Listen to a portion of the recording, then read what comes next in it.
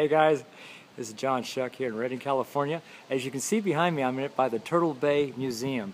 This is one of the amazing areas of uh, Redding, California that, uh, that uh, brings about some interesting concepts of nature, of plants, of birds, of fish, all kinds of uh, things that are happening here in the natural, natural area. Wildlife, uh, even the vegetation, all kinds of great things here. People come down here from all all parts of California and different states to come and visit the, uh, the museum here. And as you can tell, as I'm going to look around, there's all kinds of things to look at here. Behind me is the Turtle Bay Museum and the bridge. Sorry about that spinning around there. But you can see here's the entrance behind me.